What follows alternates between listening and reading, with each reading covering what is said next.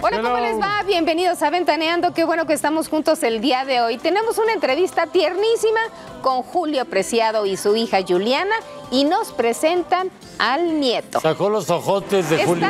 A poco más de 20 días de haber llegado al mundo, el pequeño Héctor Lorenzo, nieto de Julio Preciado, hace su debut frente a las cámaras de Ventaneando desde Mazatlán, Sinaloa, donde el gigante de la banda nos abrió las puertas de su casa para compartirnos en exclusiva cómo está viviendo la alegría de recibir en este mundo al retoño de su hija Juliana, gracias a la cual está vivo. Y ver que será mi hija, creo que desde el bautizo, eh, que, que bautizó eh, Juan Gabriel y José José Juliana, está, está ventaneando presente. Y hace 24 años. Te está abriendo los ojos de, en exclusiva, miren, vean nomás. Mira, ahora con una, con una nueva visión de la vida, con, con, nuevo miembro de la familia que se llama Héctor Lorenzo. Y pues ya lo ya están empezando a escuchar ahí con el micrófono, ya, ya quiere cantar, ¿no? Ya quiere cantar, que ojalá que sí se dedique a la música. Sí me gustaría que, que dejara, eh, ya que mis hijos no les gustó, ya y que ves que Juliana por, dijo, sí voy a cantar, pero al final dijo siempre, no, por acabo la herencia es mía, dijo, así que mejor para que canto, ¿no? Pues el que no quería, el que renegó. Ahora no quiere que me vaya de la casa. Pero no, es una etapa muy bonita, algo, un sentimiento pues indescriptible, ¿verdad? O sea, no sabes lo que se siente hasta que, hasta que te pasa y nos está tocando vivirlo. Entonces nos sentimos muy, muy afortunados, la verdad. Yo sí quiero buscar la niña. Es mi sueño también tener una niña. Y aunque hoy todo es alegría, los últimos cuatro meses del embarazo de Juliana no fueron nada fáciles, pues existía amenaza de aborto. Juliana es una mujer hiperactiva, Juliana es una muchacha que tiene muchas amistades. Y verla en, en la, en la cama acostada durante casi cuatro meses fue, eh, yo decía, no va a aguantar. Yo decía, no va a aguantar. Y es más, a los siete, a los siete meses yo le decía, hija, de una vez, pues, que te lo saquen y, y, y tenlo y lo metemos en incubadora y pues, pero me dijeron, eso es una carga muy pesada, o sea, ya vimos los pros y los contras. Y fue recuperando líquido, fíjate lo que es, lo que es lo más difícil, lo, lo empezó a lograr. Y pues salió buen niño Lorenzo. Creo que eh, Héctor Lorenzo, por ser de mi hija, pues, pues aquí, aquí, se- aquí- aquí- aquí se va a formar. Y aparte aquí vivimos. Aquí, pues, aquí, aquí vive, o sea, duerme conmigo. Pero presta atención a la ternura con la que Julio se deshizo por su nieto en plena entrevista.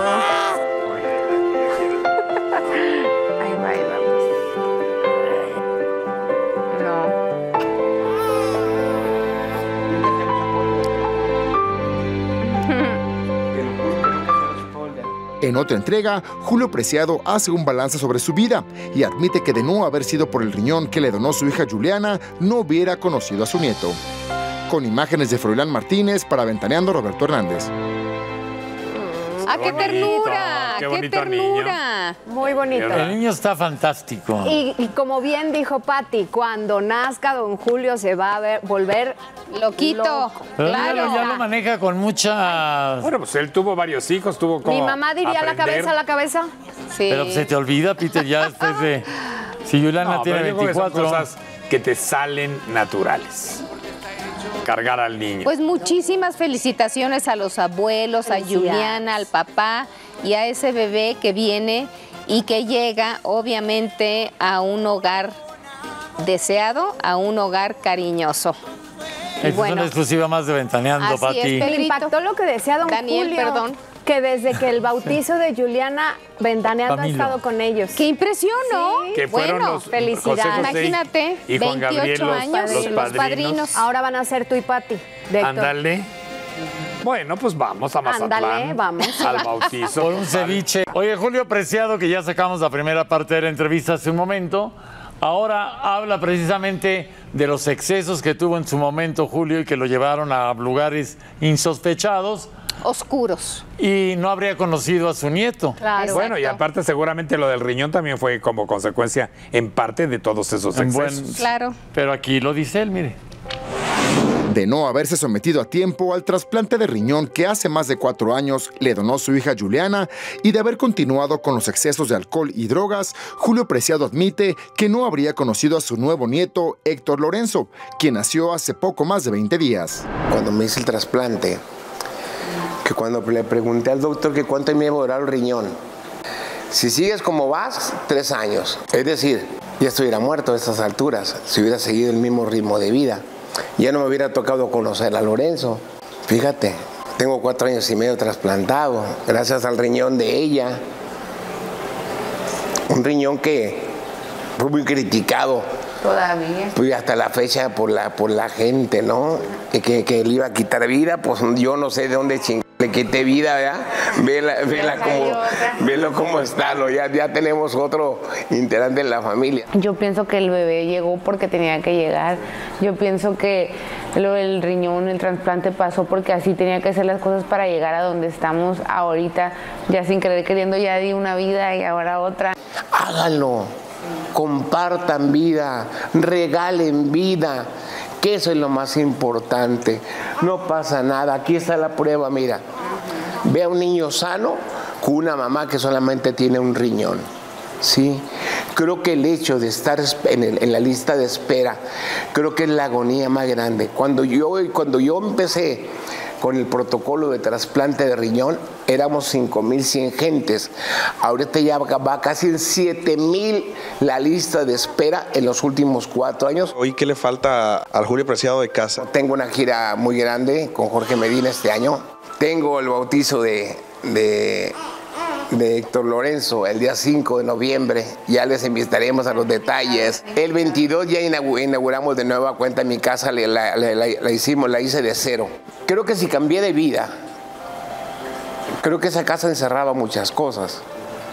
Fiesta. Eh, encerraba mucho dolor, muchas fiestas, muchos que, ocasionaba el hecho de estar en esa casa y los recuerdos estaban ahí y, la rehicimos, porque la rehicimos desde los cimientos. Julio Preciado nos abrió las puertas de su casa en Mazatlán, Sinaloa, donde este fin de semana, después de seis años de no hacerlo, volvió a presentarse en concierto junto con Jorge Medina, con quien realiza la gira Dos Cabrones.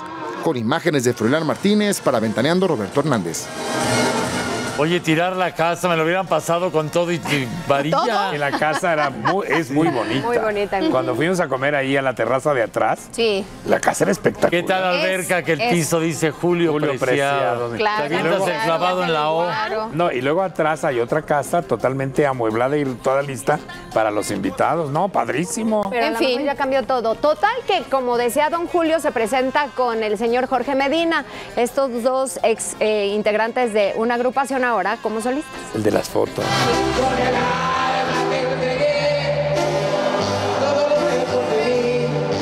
Cual profetas en su tierra, fue como Julio Preciado y Jorge Medina abarrotaron con más de 6 mil personas el centro de usos múltiples CUM de su natal Mazatlán, Sinaloa.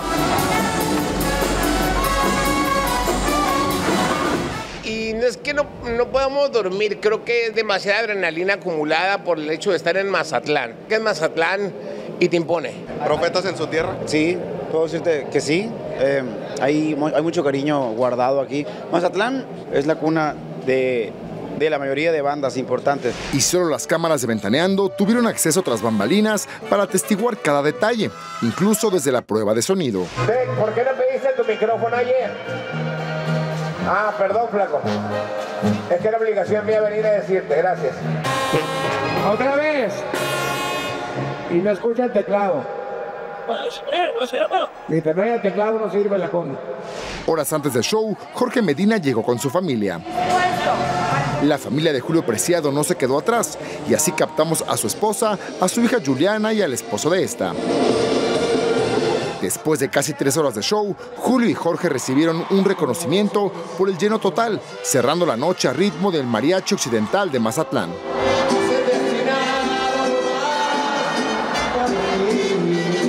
Y yo quiero dar las gracias a, la producción de Ventaneando, porque desde ayer llegaron Jorge y la verdad que la señora Chapoy, como siempre, al 100 con nosotros. Le mandamos un fuerte abrazo. Yo sé que usted, eh, usted señora Pati, casi no sale pues a los conciertos y así. Pero tenía que venir a ver a, a los que mandó porque se la colocaron anoche ahí en el malecón. Yo andaba a las 12 de la noche y yo los vi. Entonces ellos se divierten. Vamos a decir el tío Ricky. Se divierten mucho ellos y cosas que nosotros ya no hacemos. Con imágenes de Froilán Martínez para Ventaneando, Roberto Hernández. Salió A ver, grandes, muchachos, aquí en el foro saben que están diciendo que gracias por los saludos, pero ¿cuándo el ceviche? Este programa de televisión se llama Ventaneando y que el que no cae resbala. Ventaneando es ventaneando.